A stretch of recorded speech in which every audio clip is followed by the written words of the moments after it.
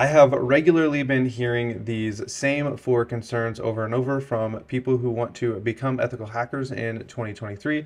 So let's go ahead and talk about these four different concerns. Number one, there is a lot of concern out there that the artificial intelligence scene is going to erase penetration testing and software development altogether, and I just really don't see this happening. Last week, I spent a little bit of time messing around with ChatGTP, asking for different lines of code for projects that I was working on, and I would say probably 60% of the time it was giving me vulnerable code. And this code was not just vulnerable to one type of vulnerability, it was giving me code that was vulnerable to multiple different types of vulnerabilities. And the most common that it was giving me was cross-site scripting and SQL injection. Finally, I got tired of it giving me vulnerable code. So I just asked it, why are you giving me vulnerable code? It apologized to me and it explained it did not mean to give me vulnerable code, but it just was. If anything, the artificial intelligence at its current state is going to make things a lot easier for penetration testers and bug bounty hunters, especially if software developers or new software developers are going to be using it because they might not know what code is vulnerable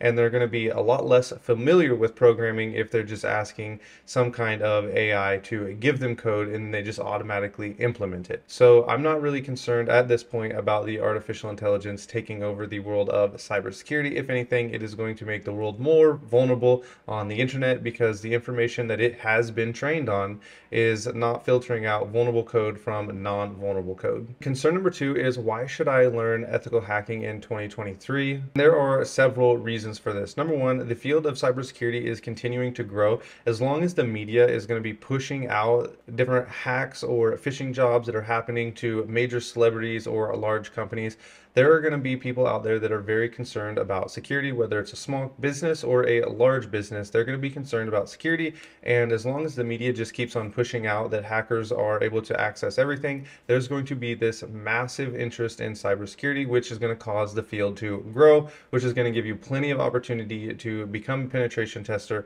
or to continue working on the side as a bug bounty hunter. So the field is not going to shrink. In fact, I think it's going to continue growing. Also, you can treat cybersecurity as a hobby. You can play CTFs, you can do competitions, and this makes learning a lot more fun. And if you're just learning for fun, then that's okay too. It is a good skill to have. And the last reason why you should learn cybersecurity in 2023 is it leads to a side hustle. Even if you're not doing this as a full-time career, you can do bug bounties just for fun and try to make some money or just do bug bounties for fun just to see how programs are functioning and how they work and you'll be able to continue learning in the world of cybersecurity as well as software development and just how the online web applications work which is just interesting and fun in and of itself. This leads us into concern number three. A lot of people ask me about side hustles. What kind of side hustles can i find and what kind of side hustles can i do with cybersecurity? And let's go through a couple of these. And a lot of these will go in order. Like if you start out tutoring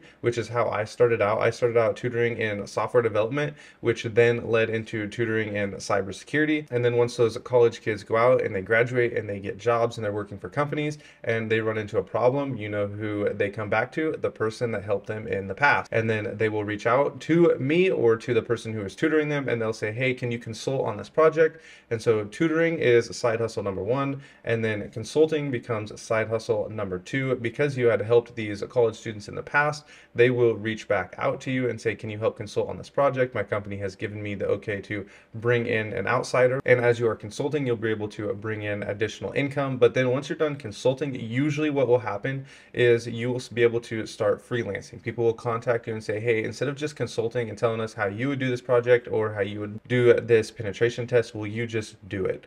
And then you become a freelancer. So this is kind of how things worked for me. It started out as tutoring, which is not just a good way to make side money, but you're also able to learn a ton, especially if you're helping people in software development or cybersecurity, really both of them. Because when you help people, even if you're not in those classes, you have to do those assignments and you have to read over those syllabuses and understand what is happening. So tutoring is going to really help you learn and it is going to be a nice little side hustle, which leads to freelancing. And in every one of these situations, you'll be able to make a little bit of money as you are progressing towards your full-time career in cybersecurity. And really, you can do the same thing in software development. The final concern people give me probably the most is that they don't want to start because they're already behind. And that is true. If you're starting right now, you're going to be behind somebody who started a year ago or two years ago or five years ago. And so people will say, why should I even start? I'm already so far behind. I'm never going to catch up. I, as a competitive person, look at this kind of like a competition. It's like, okay, they've already started. They've got a head start. I'm going to go ahead and get started and I'm going to work twice as hard, read twice as much, practice twice as much in order to catch up. And so I kind of view things as a competition, which really helps me keep on going and keeps me motivated. But I know that that's not there for everybody. So you have to set different kinds of goals that are realistic for you. And I know one of the ones that helps people the most is if you set a goal that's a year out. So it's like, okay, I don't know anything. I'm very far behind. I need to set up my plan, my roadmap, whatever. Start doing that because once you make the transition into the full time cybersecurity or programming or whatever it is you want to do, it's going to be very exciting and you're going to have those great feelings of accomplishment. And it's something that you should definitely go for. As for being behind, you don't have to worry about being behind. You're always going to be behind. I'm behind. Everybody is going to be behind somebody else in every area area of cybersecurity. I will never be the best at SQL injection. I'll never be the best at cross-site scripting. I'm never going to be the best at privilege escalation, and that's okay. There are always going to be those people who are specialized in web applications, and they're just going to be really good. And maybe that's going to be you. Maybe you want to work just on web applications or just on network penetration testing, and you can become really good in one area, but just know you're never going to be the best at all of them. I kind of like to follow the path of just being like the jack of all trades, know a little bit of web applications, a little bit of network penetration testing. And so I just kind of like to bounce around because that fits me and my personality. I don't want to spend all of my time just on one thing. I want to be really well rounded, which means I'm never going to be the best at any of them. And I'm okay with that. But I don't just stop and say, you know what, there are people ahead of me. I'm just going to call it good because I'm already behind.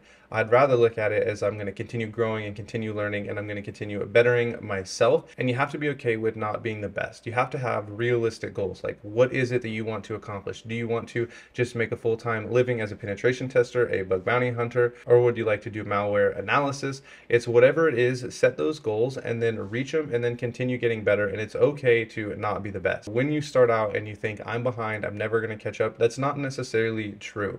The learning curve in the world of cybersecurity is really, really steep. So it kind of goes like this. If you think about it on a graph or a chart, it's going to go very, very flat, very, very flat. And then as things start to click, you're just going to automatically start shooting up and you can become really proficient within a year. So don't worry about being behind. Just keep on going, keep on moving forward and just get started. Know that eventually you will be good enough to make it as a bug bounty hunter or a penetration tester or whatever your goals are leading you to do. It's okay to think I'm behind now, but in the future, I'm going to catch up to some people and maybe even you'll have a knack for it and you can catch up to some of those top guys. Everybody had to start somewhere. So just go ahead and get started and don't worry about being behind. Just focus on yourself and getting better every single day. Thanks for watching.